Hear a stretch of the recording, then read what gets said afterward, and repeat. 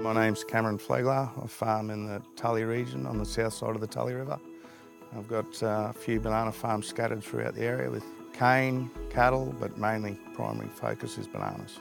Sigatoka is a fungal disease in the banana leaves and it is a constant problem. It's like rust, it never sleeps, it always needs maintenance. Um, we do a lot of physical man hours when it's bad to, to delete a few leaves, but you've got to do it regularly, which really costs a lot. So the chemicals that come out to stop that really give you advantage. Luna Privilege came in in 2015, so I took up the new chemistry straight away because I've seen how well new chemistry's worked on leaf spot in the past. We had uh, a black Sigatoka um, incursion in Australia, which is the main leaf disease throughout the world. And the new chemistry leaf chemicals really helped us beat it. So Australia's the only country in the world that's beaten that disease. That's why I've taken up Luna Privilege to, to be used regularly in my leaf spot um, or my fungicide aerial spraying program. And uh, I've, at the moment, I've got very little leaf spot and I have had for the last two years. Luna privilege has certainly been one of the major factors why I have uh, very low leaf spot. I've had really good production, I've had plenty of leaf cover. It helps with the bunches, I haven't been getting much sunburn.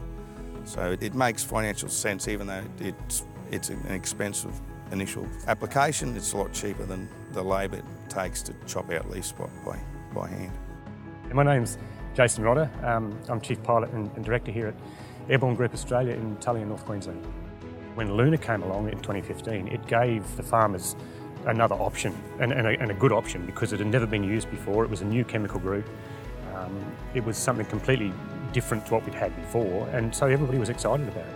I think the way Bayer approached it in, in, the, in the beginning was, was a very um, sensible way of doing it. In that the farmers had to allocate or, or, say how many hectares they were going to spray with Luna, and they only got enough for or they're only able to buy enough for that given amount of hectares. Again, our, our farmers too um, understand that they need to look after the, the, chemical too. So, I mean, between Bayer, us, and, and, and the, our, boys, the farmers, I think stewardship is, is working really well. Luna Privilege in the future is definitely going to be included in our aerial spray program. I think it's, uh, it has been value for money. As long as uh, the regulations kept up and it's going to have its uh, longevity in the banana industry. It, uh, it makes good financial sense and uh, it's just the basics of farming really.